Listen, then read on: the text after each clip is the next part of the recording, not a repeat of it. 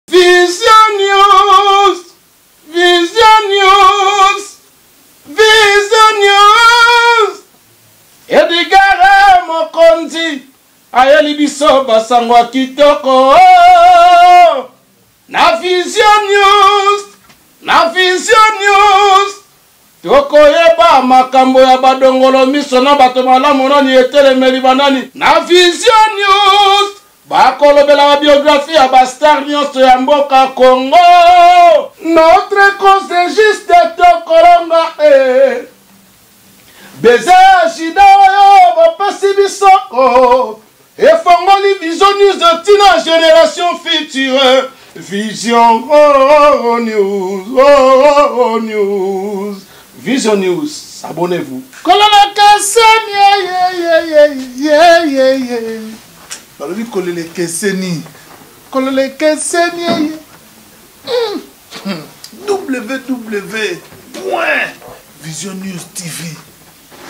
balobi eh?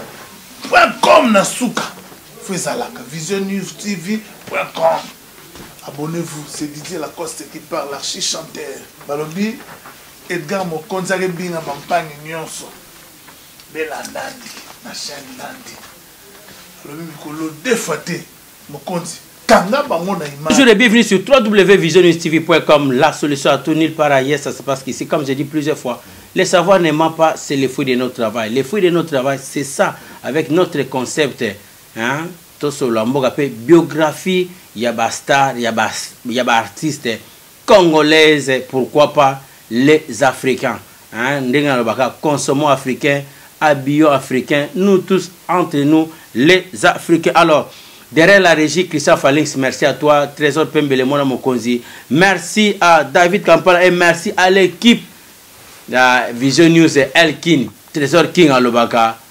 Vision News El Kine, El Paris te El Kine bambote na bino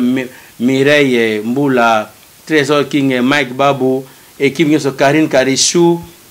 bandeko nyonso bazosala fierté ya Vision News na kati ya capitale mpe baoyo bazali un peu mwa libanda so tokei na kikwiti kuna topesi bandeko ya kikwiti papa oscar ngungu ndeko na biso micho na kikwiti merci na bino so tokei na goma ah abunda na yawe merci na bino vraiment ndenge bozosala mosala kitoko na kati ya bateau de noe alors vraiment bandeko nde tozoloba tozosala tozobanda ane na bote lelo nakoyambela bino moko kati na bayembi na nkolo nde kaka tolobaka bayembi na nkolo donk ndeko na biso bienvenu bulabula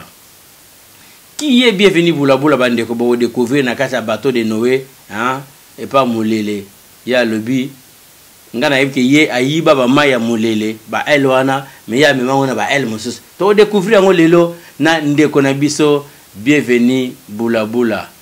bienvenu bulabula losako na losako ndeko ya guerre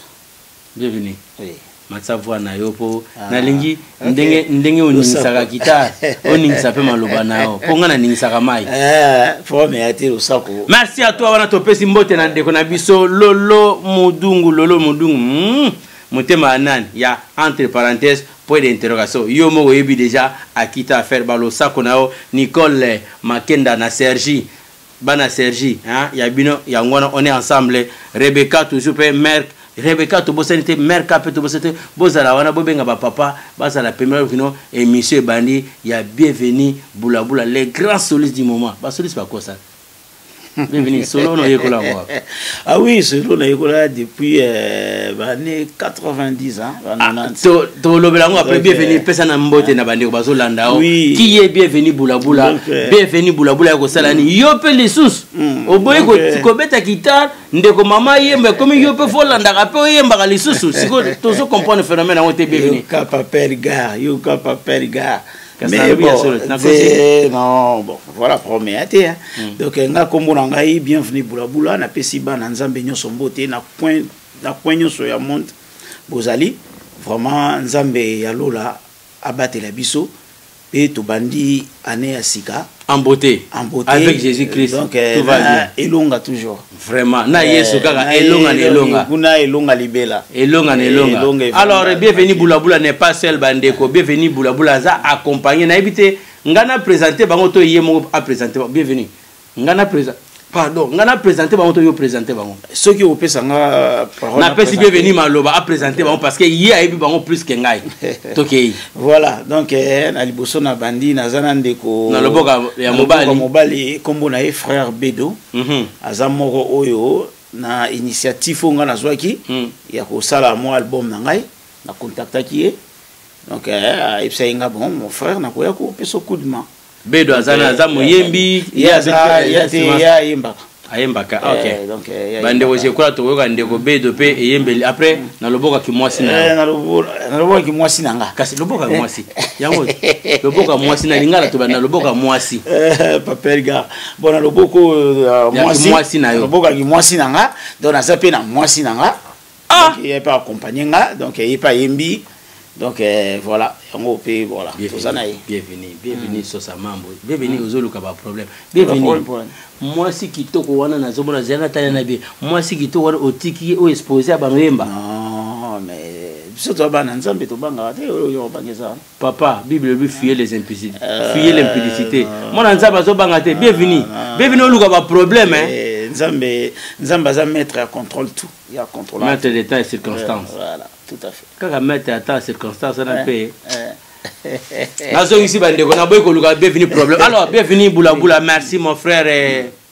Mpangi plus mpangi restera toujours mpangi tshiabwala ne tombera jamais boyebi dejà bino moko BDD toujours en marche mais toza ba congolais biso tout toza ba congolais ba africains mais quand même faut koyeba po Yesu me alobaki que non il faut quand même koyeba côté awutaki hein awutaki na Jérusalem to na Nazareth bino ba tanga Bible Yesu na Jérusalem hein ah, c'est bien aka awuta na Jérusalem ndeko bedo alors bedo pesa mbote quand même na bandeko bazolanda yo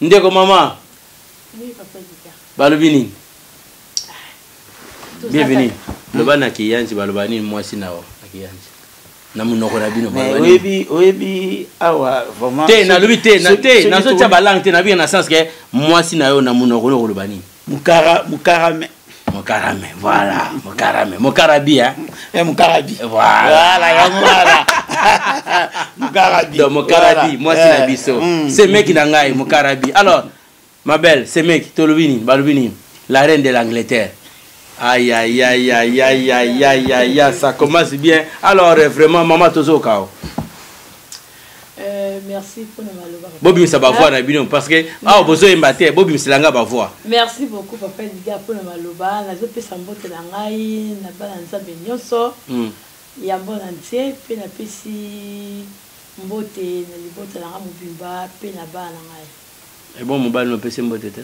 mobali nanga aza kote na nga napesi hmm, yoka ye me tomoni bizu yango te alors bienvenue boulaboula merci ça fait l'ambiance de la télé bandeko tokolobela single ya ndeko na biso bienvenue boulaboula elonga je crois titre yango ezali obongi na lokumu obongi na lokumu ah ok merci obongi na lokumu hmm. bienvenue nini etindi yo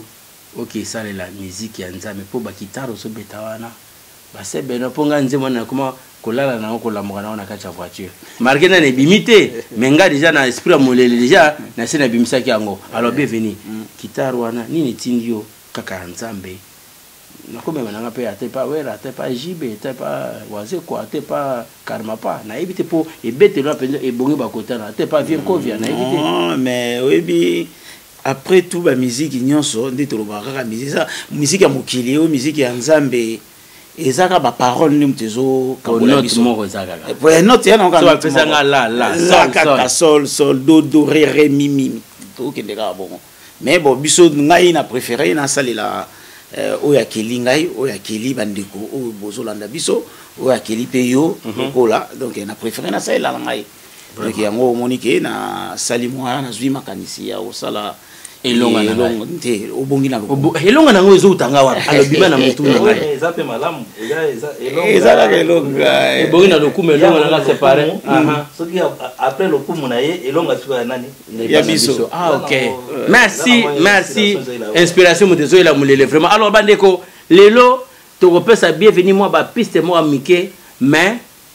akozongela biso émission mpo abetela biso le site titre ekozala émission live devini mpo ngai nasalaka ba émission ya live awa oyebi nayebi oyebi te émission ya live mpenza mpenza keno mm. tofandi mpenza boye na plateau mm. bienveni aza na guitare ndeko mama na nkunga ndeko na biso bedo mpe na nkunga mpo omoni tuba tuba sala sala re biso tokoma une fois avec action mm. les paroles s'envolent les écritures restent télé eza radio te tolingi mpenza ke ntango nazoyebisa bino keno misapi ya solo ezali ovandi mpenza na gitare wana bazoyoka mpena mbadere lobi evini pesa biso kaka batitre ya album biso fo tosala live nao tokei non ba titre ezali titre ya liboso déjà oyo ebimi oyo ebimi vraiment officiellement te mhm. mais tosalaki yango déjà toza mpe na conférence de presse euh, kaka awa hmm. na plateau de na plateau na bateau de noé na bateau de noé na vision ça donc euh, po euh, naboyi koloba po nasi napesa bino piste mpangi plus mpangi batika mpangi te toke donc tosalaki déjà tobimisi obongi na lokumu déjà mhm. donc nzembo wana liboso eza mwa animation mm. donc eh, tokumisi nzambe eh, tobimisi yango deja tosali baclip donc eh, abosani ke aza na yango yango yango eza deja sur youtube vraiment donc motu nyonso akozala na besoin nango sabeti kaka bulabula bienvenu bulabula obongi na lokumu obongi na lokumu donc okomona yango deja après banzembo mosusu etikali na asir si tout va bien vers 20 po omoni malili eh? toza na ta malili toza na problème mpona kosala baclip toza baproblème ya bacorona déjà tout est compliqué donc euh, vraiment ata clip oyo tosali oyo oyo omoni wana papa edgar mm. eza facile te déjà mpo tosala yango eh, parce que Et donc tozalaki deya na confinement toyiti na bacouvre fait bokozala moins six personnes te donc eh, donc eh, toyiti na baconfinement donc omoni ezalaki tout ça ezalaki facile te mpo toreseyo kosala clip mais nzambe ya bolingo nzambe ya mawa asungi biso tobundi bundi yango tobimisi tosali deja obongi na lokumu obongi na lokumu toujours na obongi na lokumu bandeko eza dia na marché nde kaka tozobisa bino kino ngai musique na ye nalingi vraiment life ezala parce que omoni beveni mm. tosalasala baémission trop bos ekoma trop monotonie omona moto mosusu ayebi ne koyemba mpe te ake asali na studio yemba nde bina nde ndeka bato na balobaka no biso tolingi siko yemba nde bina nde beta nde eh, problème eza te problème eza te biso toza équipe eh, naza vraiment na équipe bandeko basungi nga toza ebele eh. mais so toye awa vraiment fobokala koniata nante vokala bakri wana bakri wana balukanga na butu balukanga na butu na misala na bango oyo ya mabe bakutana lelombe mobali oyo aleki bango na nguya abatelaka nga mpe libota na ngai nyonso ekoma bango na ntongo tala bakomi bilobaloba ye nasambelaka na kisi ye nasambelaka na kisi ye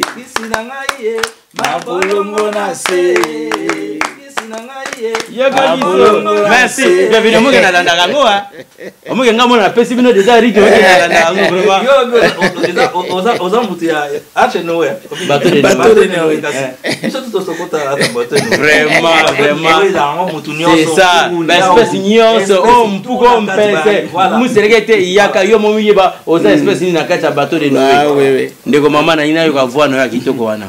asalaka mpe na otuna ye baobstacle nini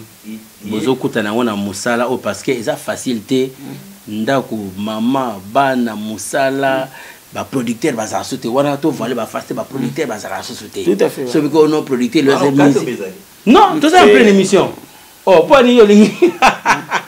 te mais osala osala nini émission tobetaka masolo kaka boye eh. émission yango donc ah, parce que baobstacle eza ebele mm. baréalité mm. ya mosala oyo bevini est ce que na ndeko mama bokozala vraiment déterminé ya kokende ti na suka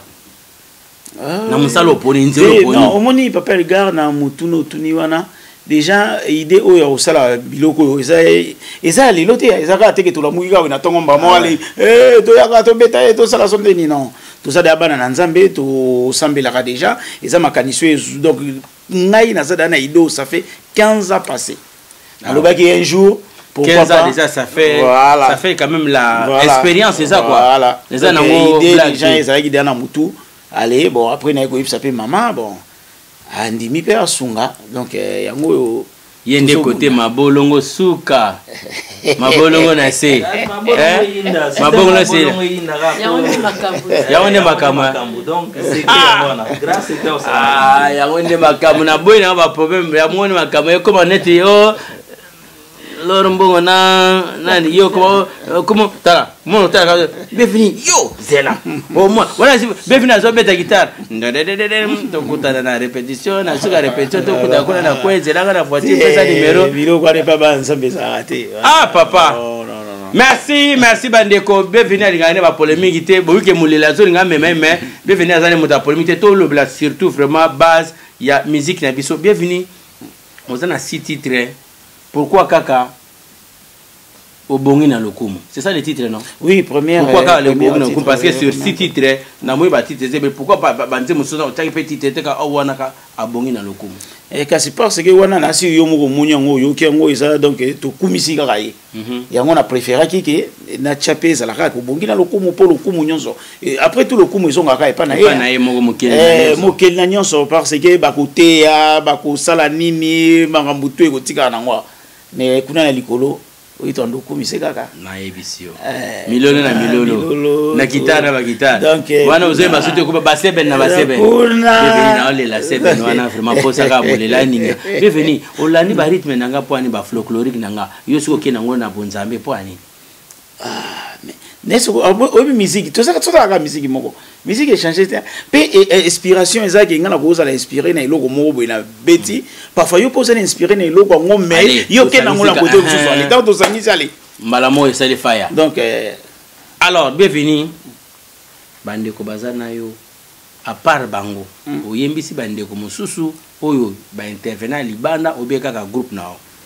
Euh, dejà un d'abord eza na groupe te mm -hmm. eza bandeko oyo nga nayebi yango nabengaki bango bakoti na mwa ide eh, baye mwana ide na ngai bon pour mhm. le moment eza kaka bandeko oyo vraiment nayebaki eza te ke oyo bandeko oyo misusu oyo bayebani vraiment nono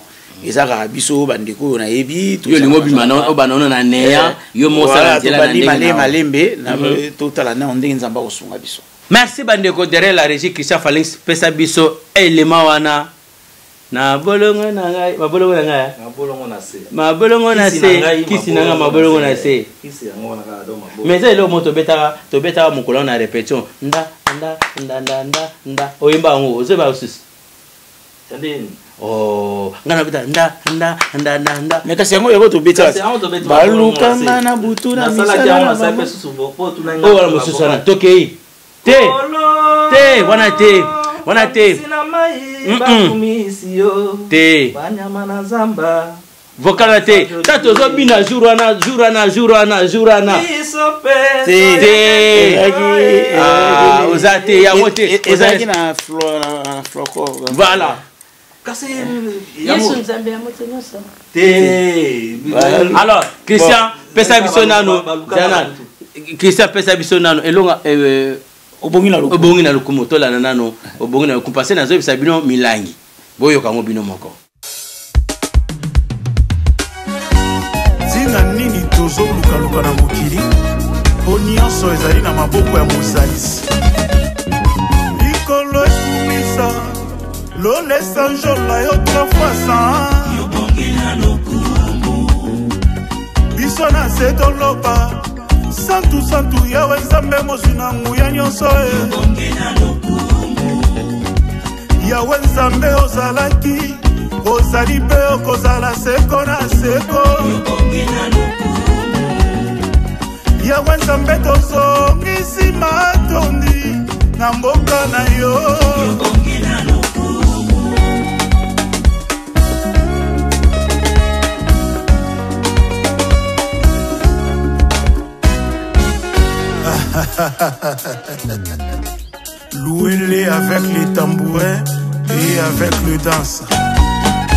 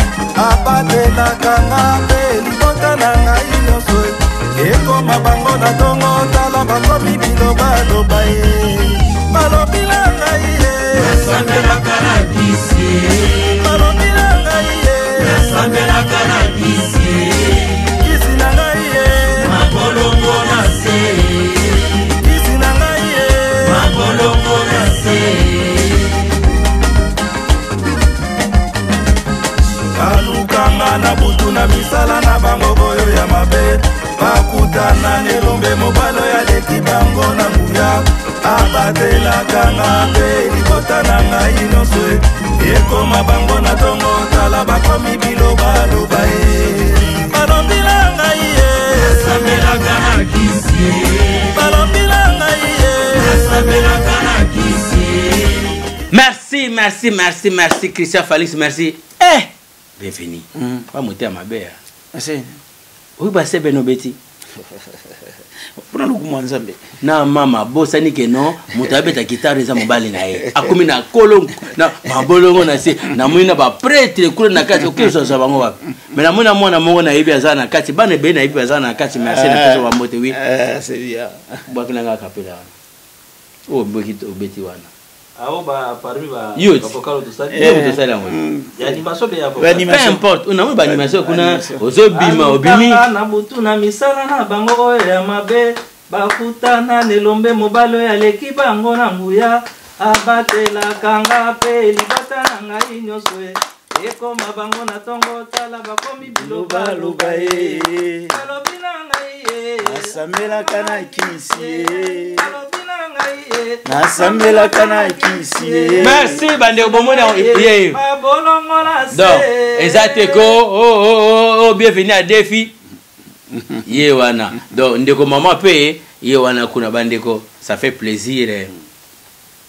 Bienvenue. Oui, papa Edgar. Ah, bienvenue. Minduki ezoya mais ezozonga.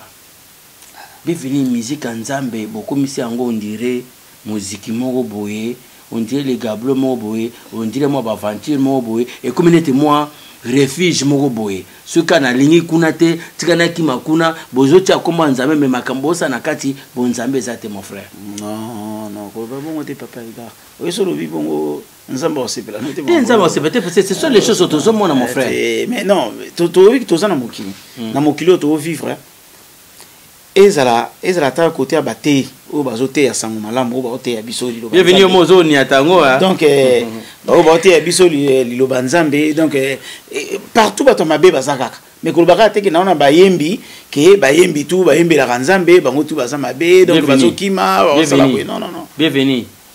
Bijoux poko na serge ako sepela te hein na na na na mama na mama na ne nini mère ka mama na El Shana mais parfois on sepela te ndenge yo zolo te po ye ah, muta yebisa nga ke non soki bienvenue aye tuna ye parce que ye alobi non ye bienvenue tomonaki na mwa alingima moko boye na mwasi naka bana bafana hein, baza mpe droit na mwa alingima mais ayebisi tuna ke non est ce que makambo bandeko ne mosusu bayemi bazosala est ce que eza malamu to ndeni mais soki soki olobi ke non nkolo akosepela te nde seke bijo akosepela te na lolo molumba akosepela te mais après tout biso ngai hmm. ngai bienvenu bulabula ce n'est pas que ya ngai ke nabanda kojuge bato papa ah. donc ngai nakojuge nanga non non eza kaka bawen te biso nyonso mpe toyaka bawen nzambe ah. nakati mpe yango aloba moke aprécise bato yango bayembi yango basali mabe neti nani nani moyebi oye aza na preuve ah. ya mabe à part ah. ndenge ba spéculation tozoka eza nango ba spéculation moyembi moko mpe bamona na preuve boye te asali mabe papa parce que nde toza boye motu moko aza moyengebele na mokili te peut-être ye moyembi wana aza mabe na côté moko boye yo sikoyo oza mabe mpe na côté moko boye donc c'est toujours comme, comme ça nul n'est na mokili awa bakisa mwa liloba wana place alobi wana oui nga na obakisa boye eh, parce que bible epekisi biso to juge Tokoki ko juger te parce que po biso moko pe tozala juger te. Mutu na mutu akozwa mbano na ye selon misala na ye. Donc c'est pas la peine ya ko juger batu. Totika totikela Nzambe nzela ye moko a juger moko na moko selon etamboli na ye. Po biso toza ba nani po to juger batu? Amen. Merci biso toza ba nani po to juger batu? Alors bienvenue les programmes à part ba clips mosusu na ebimi te c'est normal nde alobi malili ezali ba ndeko.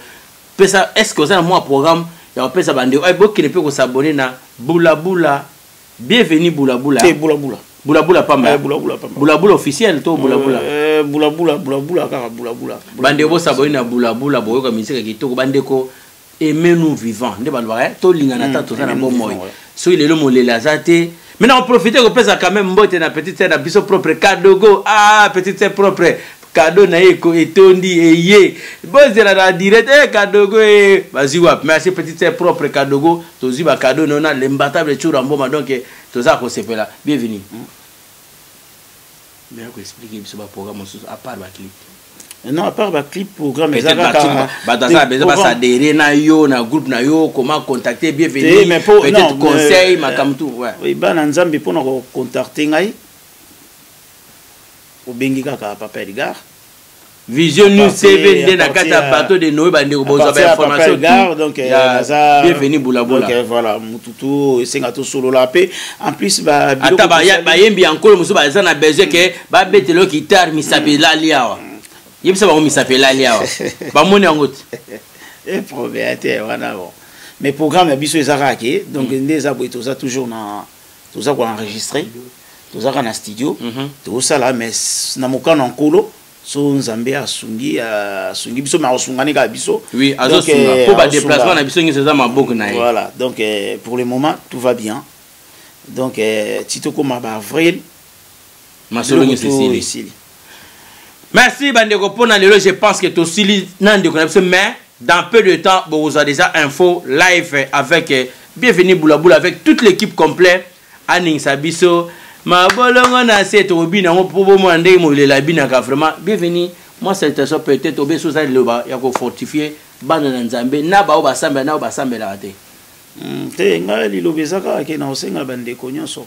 kaka nde olobi baoyo basambelaka na baoyo basambelaka te surtout baoyo baboyaka kondima yesu mm. comme mokonzi mpe mobikisi na bango eye mosusu des fois ezalaka kaka oblige te ke il faut ondi ocroire na paster ou bien faut croire na mosali na nzambe moko boye mm. non place ozali fukama bondela nzambe wana na motema moko ndima ye kaza mokonzi mpe mobikisi na yo okozala no sauve mama liloba suka mpo na mokolo ya lelo tozozela yo na nkunga mpo na mingi yo koloba olingaka koloba mingi te bocomprendre alobaka mingi te omoi bana bazalaka eloziti wana biso bakongo nde tolobaka alobaka mingi te tokei balanga papa ya diga tala bamalili ezali ayaya azwi rezo na kiozi merci azwi rezo na kiozi ndeko bedo mwa liloba suka mpo na mokolo ya leo nayebi ke bientôt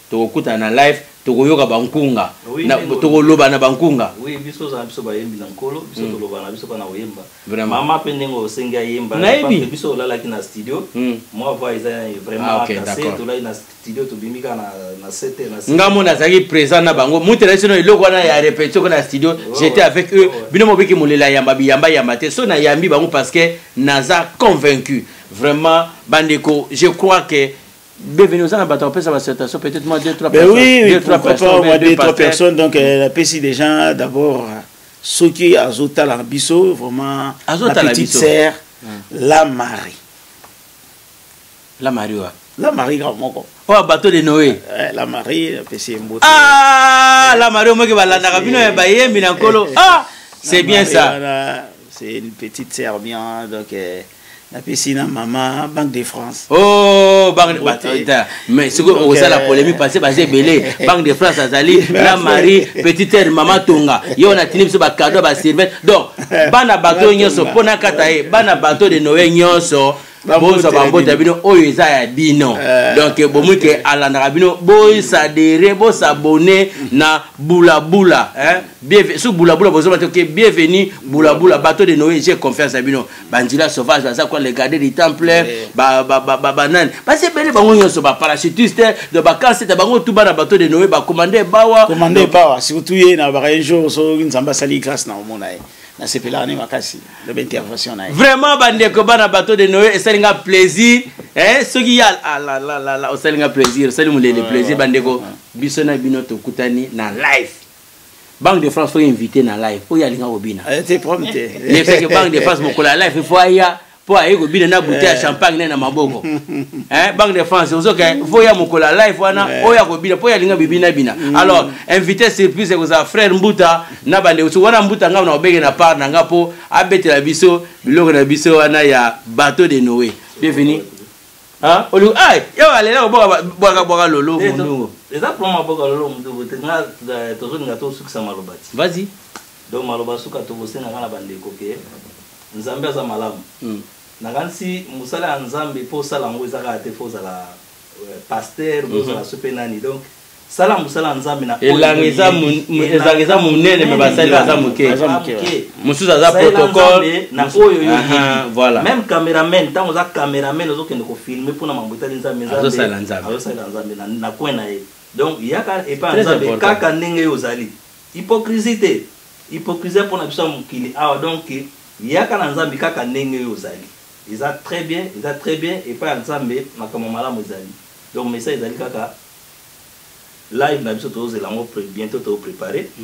makambo ya kobwaka batu bon eza penza habitude na ngai te bon soki tolobi tobwaka tokolala awa prefere soki kobwaka tokobwaka mokolo ya live vraiment lelo po toza pena temps na biso ya live vraiment famille pesene na leli bino mingi na lingaka bino mingi Willy pesa une effilancee ya yo yango wana tosukisi wana bana na nzambe nyonso ba mbote na bino yango wana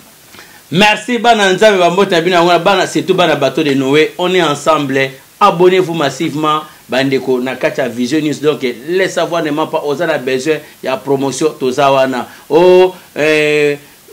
vision news transport service ozoke bruxelles oyo boza besoin bacourse toza na bandeko opération somba matériel ya vision news bobosana te bienvenu aye na contribution na ye malgré aye kosala émission ayeki ah nga mpe fona contribue na opération somba matériel ya vision news bandeko tokutani mbala nsima merci